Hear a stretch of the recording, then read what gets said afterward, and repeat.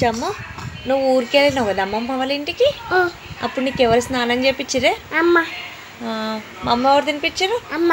అమ్మ అంటే అమ్మమ్మ కదా? నీకు లాల ఎవరు పోసారు అమ్మ. బట్టలు ఎవరు ఉతికిరేవి నీకు బ్రష్ ఎవరు చేయించారు అమ్మ. నీకు జీ ఎవరు కడిగారు అమ్మ. నిన్ను ఎవరు పడుకోబెట్టారు నువ్వు ఎవరు ఎవరంటే ఇష్టం నీకు? నువ్వు ఎవరు పండువే? నువ్వు నీకు నీకు పాలు ఎవరు తాగుతారు రోజు? అమ్మ. అవునా? నీకు స్నానం ఎవరు చేపిస్తారు? అమ్మ.